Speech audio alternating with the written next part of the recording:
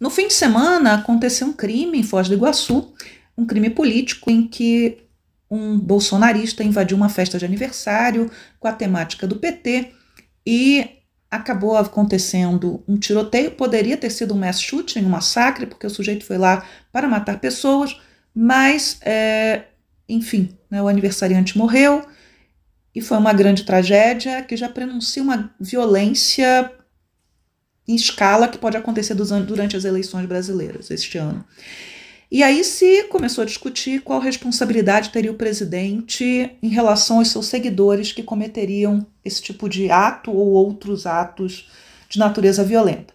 Não vou falar sobre isso, mas isso me fez lembrar um caso ocorrido na Idade Média, século XII, 1170, em que o Thomas Becket, né, que era um eclesiástico mais alto eclesiástico da Inglaterra, ele acabou sendo assassinado diante do altar por quatro cavaleiros depois que o rei Henrique II, o rei mais poderoso da sua época, que tinha sido amigo íntimo do Becket, os dois tinham dividido aventuras e começaram a divergir quando Becket foi enviado pelo próprio rei a Roma, representando o reino da Inglaterra, e ele acabou se convertendo ao projeto de reforma do Papa, que tinha como principal objetivo naquele momento que a igreja não se submetesse aos poderes temporais, ou seja, ao poder do rei ou de qualquer outro poder que não fosse religioso ou que não fosse poder do próprio Papa.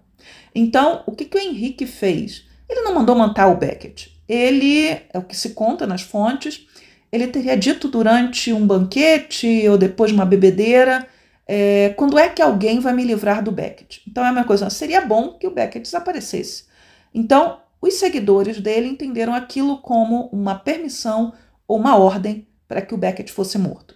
Bem, o Henrique pagou um preço muito alto, porque ele foi ameaçado de excomunhão, a Inglaterra foi ameaçada de interdito, ou seja, nenhuma cerimônia religiosa poderia ser feita no reino, o que causaria desespero, o que poderia causar revolta, e aí ele fez penitência por ordem do Papa. Na Idade Média, nem tudo se podia, e muitos senhores eram chamados à responsabilidade pelos seus atos políticos. Quem quiser ler isso de forma romanceada, eu recomendo Os Pilares da Terra, Adoro esse livro. Tenho duas versões por conta da série que saiu. Eu sou professora de história, sou medievalista, brinco que aposentada, porque na sala de aula e nesse momento não estou produzindo nada na área, mas tive a ideia de fazer o vídeo. É isso, tá? Um líder tem autoridade e deveria ser responsabilizado pelos seus atos e suas palavras, porque ele serve de exemplo e modelo. Tchau, tchau.